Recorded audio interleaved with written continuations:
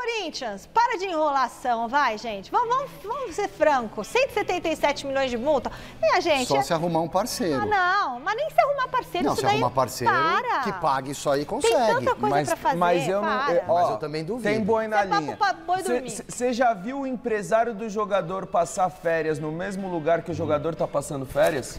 Como assim? O Gabigol tá em Trancoso. O empresário do Gabigol também está em Trancoso. Ué, daí? Qual que é a necessidade dos dois estarem em Trancoso no período Você de é férias do jogador? Você é não, mas e daí, tipo assim, tá combinando, combinando coisas? Al- alguma coisa está acontecendo. Negociação está ocorrendo. O Gabigol está insatisfeito, ok, ele teve uma temporada irregular E em lá 2023. ele vai ser reserva Ele não vai jogar com o Tite. Tite. É. O camisa 9 do Tite é o Pedro. O Tite gosta de um estilo de jogo com um centroavante, aquele clássico de área. Tudo bem. O Gabigol não é esse jogador de referência. Mas pro Corinthians ele não vai, vamos E o combinar. Corinthians está é doidinho para trazer ele. E eu acho, Gabigol, posso falar, Marcelo. a sensação que passa é que o Gabigol também está querendo jogar no Corinthians. É, Ele não por quer aquela- jogar no Corinthians, a- ele quer sair do Flamengo. por talvez. aquela entrevista que ele deu aí num podcast. Pode pá. Pode pá.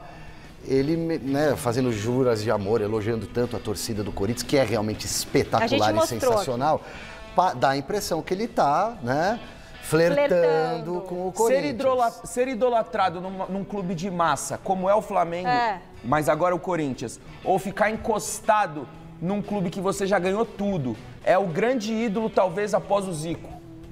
É. Talvez seja o grande ídolo do Flamengo Pra pós-Zico. algumas pessoas, sim. Eu, eu, eu acho que tem. Cara, frente, eu, eu vou te bem. falar, é, dá pra entender o lado do Gabigol em relação a isso. Eu não julgo, não julgo e eu Agora, acho ele, que ele não joga, pode, ele não pode joga sair com, negociação. Ele não joga com o Tite. é, o Tite me parece ser uma pessoa muito justa, muito Eu também séria. acho. Se ele É, treinar não bem. é uma questão de estilo de jogo, eu acho que é de postura profissional. É Eu isso, acho que é, é estilo isso. Pra de mim é jogo. postura Eu- profissional. Porque profissional o Gabigol ele é. Não, mas o Gabigol, ele Gabigol é... é ele Ah, eu- treina, ele se apresenta no horário, ele tá Não, mas sempre eu, à eu, tô, disposição. eu tô indo além disso, eu tô indo além disso. É, o- é o jeito como encara a vida, resumindo. É mascaradinho, é Mas peraí, peraí, peraí. Ai, é mimimi, O que, é ele fa- mimado. o que ele faz fora do centro de treinamento é Mas um problema dele. Mas o, o- o comandante pode não querer Se ele trabalhar, isso aí impacta, de O repente, elenco numa tem que se decisão. apresentar às 7 horas Mas- da manhã. Se ele chegar às bem, 7 horas da bem, manhã- Marcelo. Mas às vezes o cara, Não puta, eu não aguento trabalhar com esse moleque. Eu, não tô dizendo que é o caso, me parece ser o caso, ok? Me pare... Putz, trabalhar com o Gabigol é um saco. Putz, o cara, o cara é salto alto,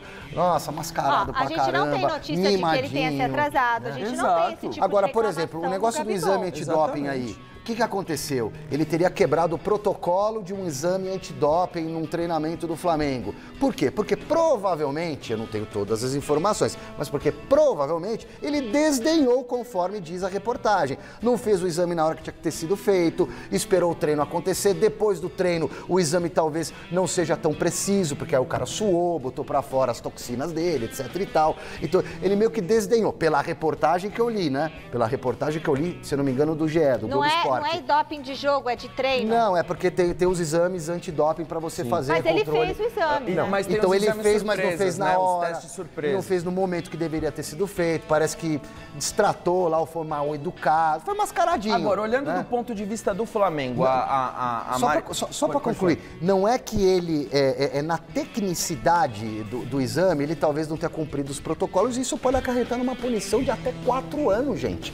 Duvido também Não, que isso aconteça, né? Porque até quem é pego no doping, que não foi o caso, não fica afastado, acho que quatro anos. Bom, né? A Marina disse que o Marcos Braz falou que Ele o, não o tá à Gabigol venda. não está à venda. Ponto. Um jogador que ganha mais de um milhão e meio por mês vai ficar encostado o ano de 2024 inteiro e sair de graça do Flamengo, não vai ter um retorno financeiro para o clube. Será que é bom negócio o Flamengo segurar o jogador a próxima temporada inteira e depois vê-lo sair posso de falar uma graça? coisa? Será? Alguém ouviu da boca do Tite que o Tite não quer o Gabigol? Não, isso ele nunca Então, falou. assim, se o cara, se você tem um cara que resolve, que é bom e que tá treinando e que rende e que é ídolo, é, você não vai usar? Então, assim, eu acho que calma, né? Tudo, tudo, tudo, tudo vai do desempenho da pessoa lá. Bom, daqui a pouco, informações do que aconteceu na casa de Marcelo Bazejo nesta madrugada. Daqui a